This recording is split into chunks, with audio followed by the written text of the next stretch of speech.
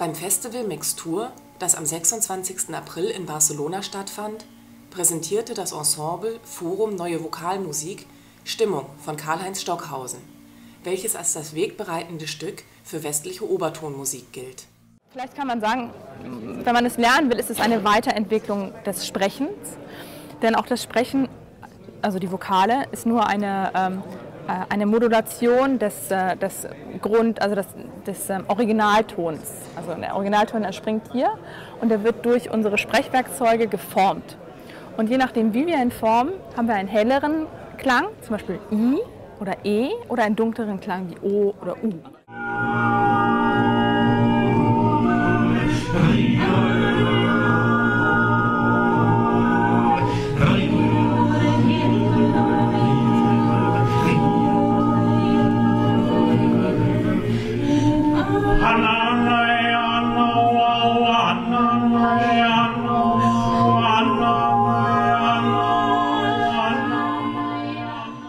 Im Gegensatz zum Sprechen ähm, wird aber beim Obertongesang ähm, ein ganz bestimmter Oberton hervorgehoben, der also nicht nur eine Farbe gibt, eine Vokalfarbe, sondern eben den man als einzelnen Ton wahrnehmen kann.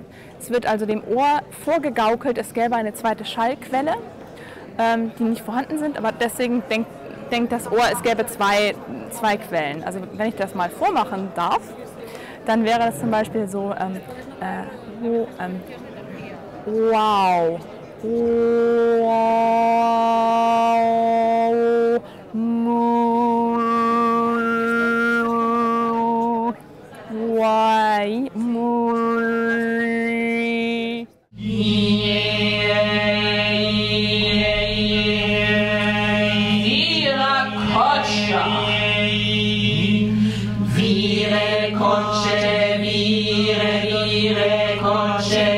vire vericonosci, vire cosce, vire, vire.